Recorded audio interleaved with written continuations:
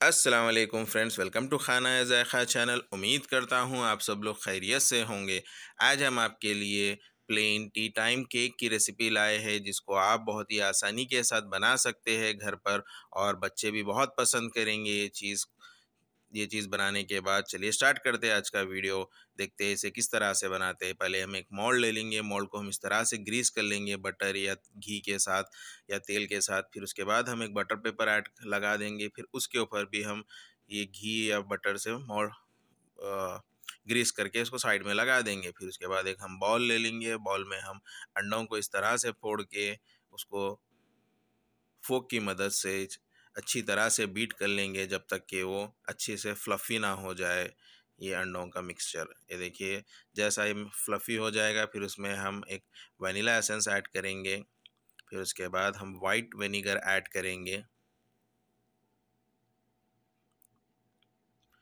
उसके बाद हम उसमें तेल ऐड कर देंगे। दूध ऐड करेंगे हम।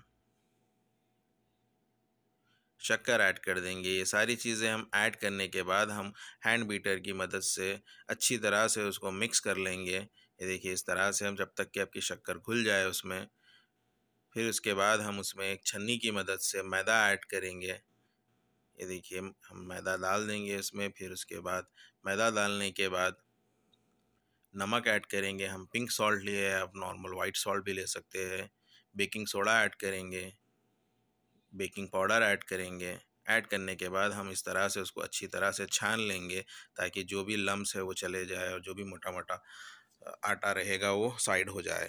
देखिए, ये अब जो भी है हम निकाल देंगे। फिर उसके बाद हम हैंड बीटर की मदद से फिर से उसको हम अच्छी तरह से उसको बीट कर लेंगे ताकि अच्छा से सॉफ्ट मिक्सचर बन जाए इस तरह से। देखिए। आपको हमारे सारे इंग्रेडिएंट्स की क्वांटिटी हमारे डिस्क्रिप्शन में मिल जाएगी। और एक चीज़ याद रखिए, इसमें मेज़रमेंट परफेक्ट रखिएगा, जो हम मेज़रमेंट रखेंगे, उसी, उतना ही मेज़रमेंट से आप उसको ऐड करिए ये चीज़ें। जितना आपके मेजरमेंट्स अच्छे रहेंगे, उस तरह से ये केक भी उतना अच्छा बनेगा। चलिए, मिक्सचर हो गया है, अब हम उसको हम, हमारे ग्रीस किए हुए मोल्ड में हम ट्रांसफ़र कर देते हैं। ट्रांसफ़र करने के बाद हम उसको एक प्री हीटेड अवन में हम लगा देंगे। तकरीबन 20 से 25 मिनट तक preheated oven at 180 degrees पे हम लगा देंगे। ये देखिए, अब ये बन भी गया है, हमने निकाल दिया है उसको बाहर। ये देखिए, टेस्ट करते हैं, फोक की मदद से देखिए, कहीं भी उसका मॉइस्चर नहीं लग रहा है तो अपना केक बनकर रेडी हो गया है। इस तरह से अब चाकू की मदद से उसको साइड से सारा उसको निकाल दीजिए। निकाल के इसको हम देखिए निकाल लेंगे। ये देखिए आपका बटर पेपर निकालने के बाद आपका सॉफ्ट स्पॉन्जी केक बनकर रेडी हो गया है। अब हम देखिए इसको अच्छी तरह से इसको प्रेस करके देखते हैं ताकि कोई मॉइस्चर है कि नहीं। देखिए कितना सॉफ्ट और और मॉइस्चरलेस केक बन गया है आपका। ये देखिए इसको कट करके देखते हैं पीस में। माशाल्लाह से देखिए कितना सॉफ्ट बना है और कहीं पे भी उसमें मॉइस्चर भी नहीं है। देखिए, माशाल्लाह से आपका केक बनकर रेडी हो गया है।